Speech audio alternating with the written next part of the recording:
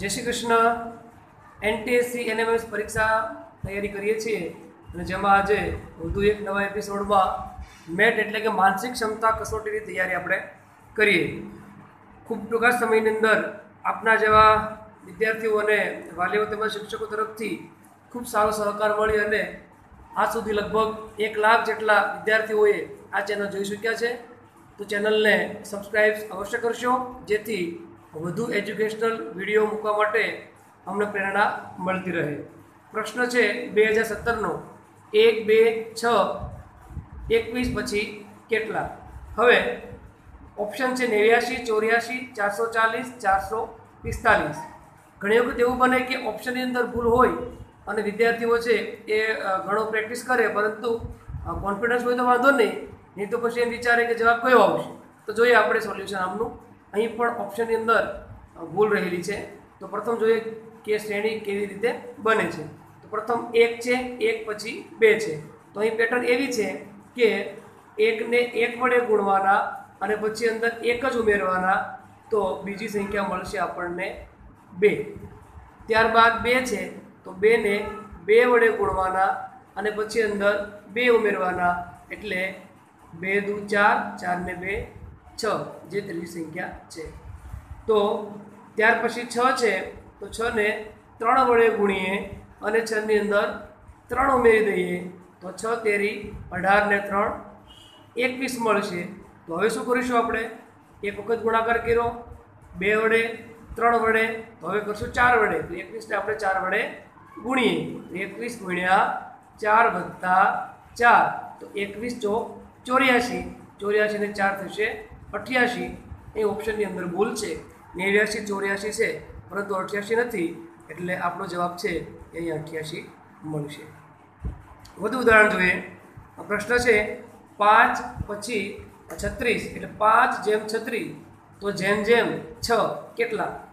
હવે અહીં પેટર્ન એ પ્રમાણે છે કે પાંચ પછી છ આવે, એટલે કે પાંચ એમનેમ એમ લખ્યા છે અને છનો વર્ગ એટલે છત્રીસ છત્રીસ છે. તો હવે છ આપ્યા છે આપણને. તો છ પછી શું કરીએ? આપણે છ એમને રાખીએ અને સાતનો કરીએ વર્ગ.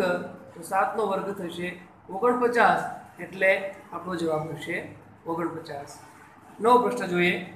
નવો પ્રશ્ન છે ઈ વી આઈ. એટલે કે ઈ જેમ, વી, જેમ જેમ, આઈ. તો શું મળશે? તો આના માટે સૌપ્રથમ આપણે જ્યારે એબીસીડીનો કોઈ પણ પ્રશ્ન હોય, તો એની અંદર એબીસીડીનો ઉપયોગ થયેલો હશે એટલે તમારે એબીસીડીના મૂળાક્ષર લખી દેવાના, તો પ્રથમ આપણે મૂળાક્ષર લખીશું.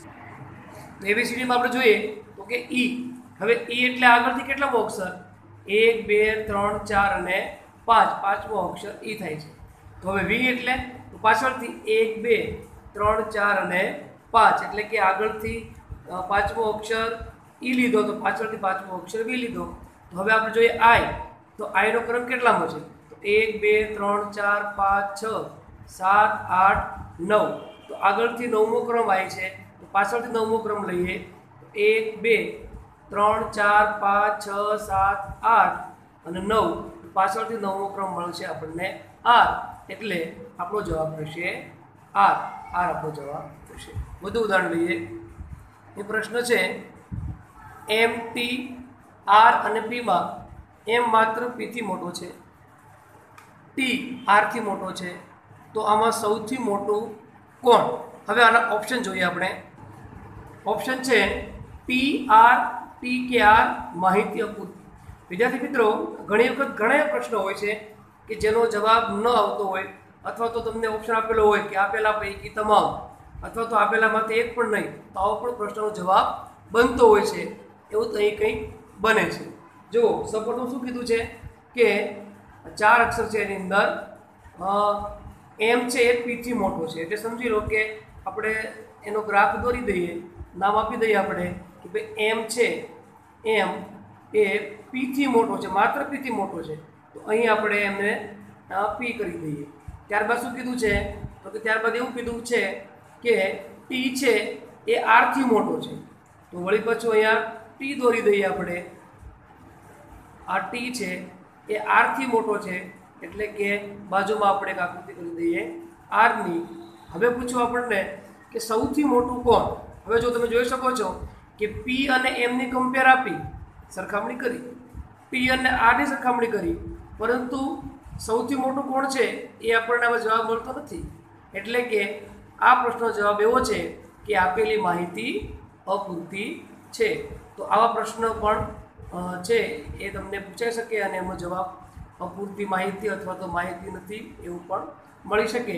આ પ્રશ્ન બે હજાર સત્તરના પ્રશ્ન પેપરની અંદર હતો. આપણે આગળના વિડીયોમાં બે હજાર સત્તરનું મેથ્સ એ જોઈશું. તમે વિડીયોને લાઈક, સબસ્ક્રાઈબ કરશો અને તમે એક કોમેન્ટ પણ અવશ્ય આપજો. આગલો વીડિયો જોઈએ ત્યાં સુધી જય શ્રી કૃષ્ણ.